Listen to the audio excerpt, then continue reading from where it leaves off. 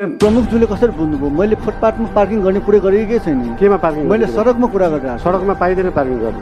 कार्यपालिका बैठकमा बालेन र ओडाध्यक्षहरू बीच चर्का चर्की भ्रष्ट कर्मचारीलाई बचाउन लागेको भन्दै ओडाध्यक्षप्रति बालेनको आक्रोश। यो समाचार कुन ठाउँबाट हेर्दै हुनुहुन्छ? बालेन शाहको पक्षमा हुनुहुन्छ भने कमेन्ट बक्समा I am with Balen Shah लेखेर यो समाचार सक्दो सेयर पनि गरिदिनुहोला। काठमाडौँ महानगरपालिका प्रमुख मेयर बालेन्द्र शाह बालिनले आफ्नो पार्टीका कर्मचारीलाई जे गरे पनि बचाउन खोजेको भन्दै आफ्नै ओडाध्यक्षहरूलाई कटाक्ष गरेका छन्। उनले सामाजिक सञ्जालमा लेख्दै पार्टीबाट चुनाव जितेका ओडाध्यक्षहरूले स्थानीय सरकारको मर्म आत्मसात गर्न नसकेको आरोप लगाउँदै कटाक्ष गरेका हुन्। ओडाध्यक्षहरू यस्तै गलत प्रविधि राखिराखे काठमाडौँले मुहार नफेर्ने धारणा पनि उनले राखेका छन्। आफ्ना पार्टीका कर्मचारीलाई जे गरे पनि बचाउन जुन हदसम्म पनि जान सक्ने जनप्रतिनिधिहरूले साँच्चै स्थानीय सरकारको मर्म आत्मसात गर्न सकेको कसरी मान्ने उनले प्रश्न गरेका छन्। जनप्रतिनिधिको आवरणमा काङ्ग्रेस एमाले र माओवादीका पार्टी प्रतिनिधि रहेको किन नभन्ने? यस्तो गलत प्रविधिले बन्छ त काठमाडौँ। कर्मचारी स्वयंले मैले गलत गरेको हो भनेर लिखित रूपमा स्वीकार्दा समेत अब के गर्ने भनेर कार्यपालिकाबाट कारवाही अगाडि बढाउन ओडाध्यक्षहरूले रोके भन्दै मेयर बालेनले आक्रोश पोखेका छन्। रोक्नुको अर्थ के हो? ओडाध्यक्ष ज्यूहरूको आफ्नो पार्टीको कर्मचारीलाई बचाउने खेल। यसलाई कर्मचारीको मनोबल के हुन्छ? मेयरकै एकलौटी गर्न पाइँदैन भन्ने जस्ता प्रश्नले छोप्न खोजिन्छ। साँच्चै भ्रममा हुनुहुन्छ भने निस्कनुहोला। चोरभन्दा कसले खुट्टा तान्छ भनेर जग जाहेर छ। चोरभन्दा झस्किएर आफ्नो खुट्टा तान्नेहरूप्रति हाम्रो शङ्का छ।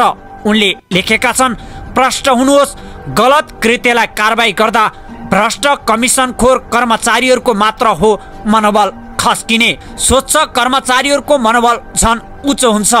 गलत काम गर्ने जो कोहीलाई पनि कारवाही गरिनुपर्छ भन्ने उच्च मनोबलका कर्मचारीहरूको काठमाडौँ महानगरमा कमी छैन। काठमाडौँ महानगरको मङ्गलबारको कार्यपालिका बैठकमा पार्किङ र कर्मचारी निलम्बनबारे विवाद भएको थियो।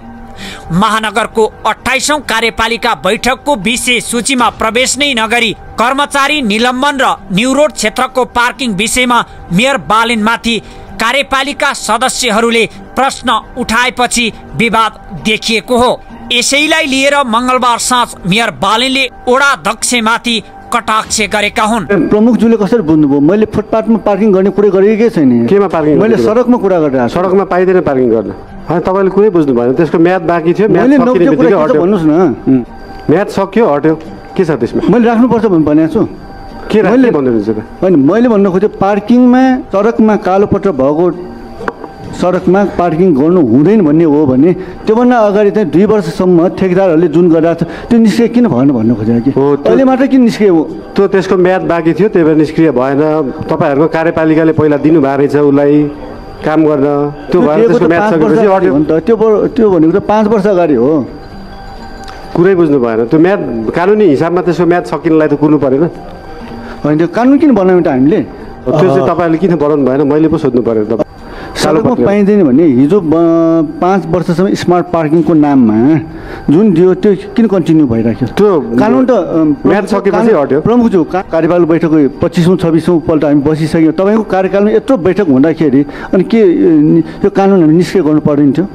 के कानुन गर्नु पर्दैन थियो कसरी फुटपाथमा व्यापार गर्न चाहिँ नदिने ठेला राख्न रोडमा नदिने पार्किङ गर्न दिने चाहिँ कसरी मिल्छ यो चाहिँ पार्किङ स्मार्ट पार्किङले तिन अरब भ्रष्टाचार भइरहेछ। यो चाहिँ के भन्दा जनप्रतिनिधिले चाहिँ यो लुटिरहेछ भन्ने सामाजिक सञ्जालमा आइरहेछ।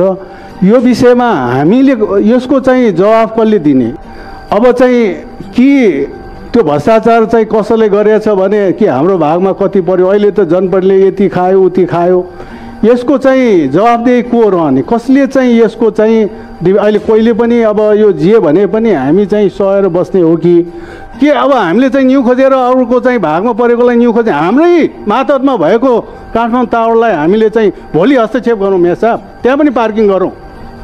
किन हामी चुप लाएर बस्ने? एउटा फुटपाथमा व्यवसाय गर्न पाइँदैन भन्ने विषयमा यो त कन्ट्राडिक्टरी भयो नि त। ठेला राख्नलाई जति ठाउँ चाहिन्छ बाइक पार्किङ पनि त्यति नै ठाउँ चाहिन्छ। भनेपछि ठेला चाहिँ हटाउने पार्किङ गर्न दिने मिल्छ।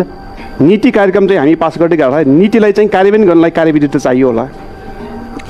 त्यसमा हामी छलफल गर्न सकिन्छ। यस्तो यस्तो विषयलाई चाहिँ कार्यविधि नै चाहिँदैन। जस्तै उहाँ नै संयोजक हुनुहुन्छ एउटा फुटपाथमा व्यवसाय गर्न पाइँदैन भन्ने विषयमा।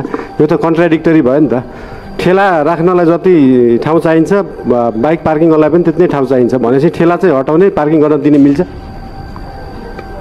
म संयो म संयोजक भएको विषय र यो विषय चाहिँ फरक छ एउटै विषय हो नि। कसरी? फुटपाथमा व्यापार गर्न चाहिँ नदिने ठेला राख्न रोडमा नदिने पार्किङ गर्न दिने चाहिँ कसरी मिल्छ त?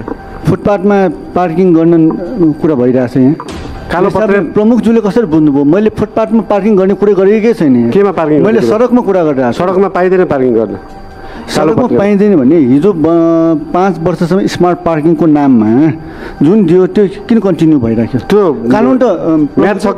प्रमुख मेयर बालेनको फेसबुक स्ट्याटस जस्ताको तस्तै कर्मचारीबाट के गलत भएको हो भन्ने पनि थाहा छ।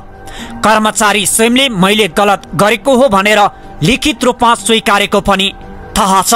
यति हुँदा हुँदै पनि अब के गर्ने भनेर कार्यपालिकाबाट अगाडि बढाउन रोक्नुको अर्थ हो वडाध्यक्षज्यूहरूको आफ्नो पार्टीको कर्मचारीलाई बचाउने खेल। यसलाई कर्मचारीको मनोबल के हुन्छ? मेयरले एकलौटी गर्न पाइँदैन भन्ने जस्ता प्रश्नले छोप्न खोजिन्छ। साँच्चै भ्रममा हुनुहुन्छ भने निस्कनुहोला।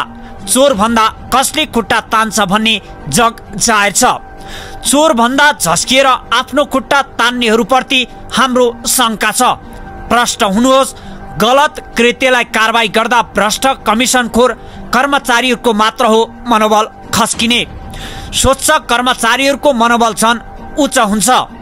गलत काम गर्ने जो कोहीलाई पनि कारवाही गरिनुपर्छ भन्ने उच्च मनोबलका कर्मचारीहरूको काठमाडौँ महानगरमा कमी छैन।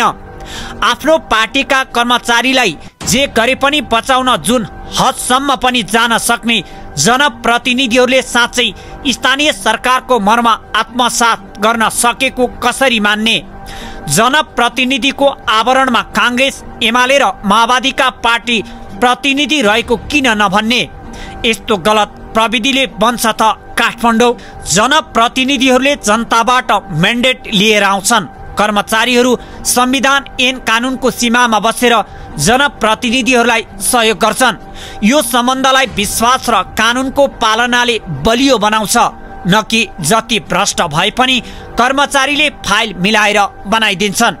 नेताले ढाकछोप गरिदिन्छन् भन्ने विचलनले स्वीकारी स्वीकारी गलत काम गर्ने कर्मचारीलाई जोगाउन सिङ्गो पार्टी लाग्छ भने योभन्दा विडम्बना अर्को के हुन्छ? आशा गर्छु कार्यपालिकामा छलफलका लागि ल्याइएका प्रस्ताव नै देखाएर एकलौटी निर्णय हो भन्दा लाज मान्ने जनप्रतिनिधिहरू देशभर आउँछन्।